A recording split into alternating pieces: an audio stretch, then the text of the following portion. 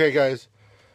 It is raining outside and it's like 30 degrees, so I'm making the video on my phone. Um, I was going to show you guys what I got. This big snake over here, they don't make hides um, that are big, you know, like the wood hides for the big snake. Let me show you guys what my uh, buddy Robert from the pet store actually texted me. Let me stand where the light isn't shining on me. Uh, he texted me and told me they had these tubs over there at Lowe's. So I picked one up. It's a odd job multi multi-purpose mixing tray. It says odd job 27 liter 7 gallon mixing tray.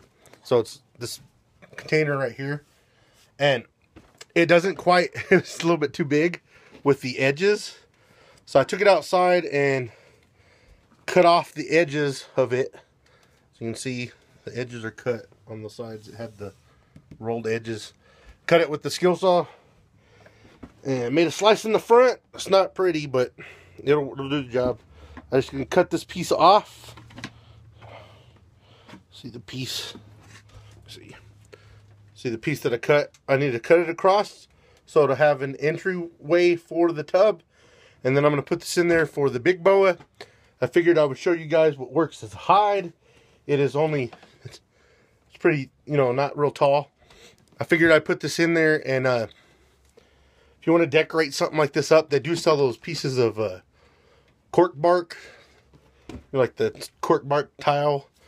You could probably hot glue it to the outside of this and make it look fancy.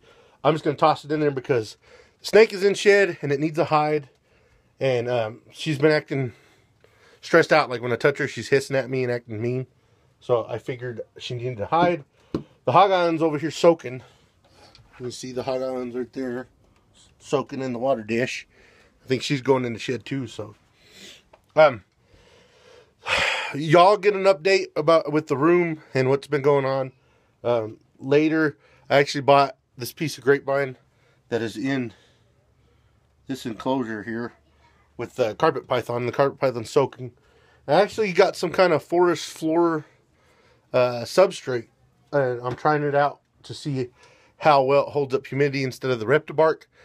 Reptibark I usually have to wash out, or it leaves like this brown, brownish red powder on my snakes. So, uh, like whenever I still had Popeye, the pied ball python, it would turn them a dingy red color, is the white on them. So I quit. I kind of have to rinse Reptibark off one time and then put it in their enclosure. But um, anyways, using the Forest floor, I figured I'd show you guys what I use for the big snakes for a hide. And as always, guys, like, comment, subscribe, all that good stuff. And I'll see you guys in the next video.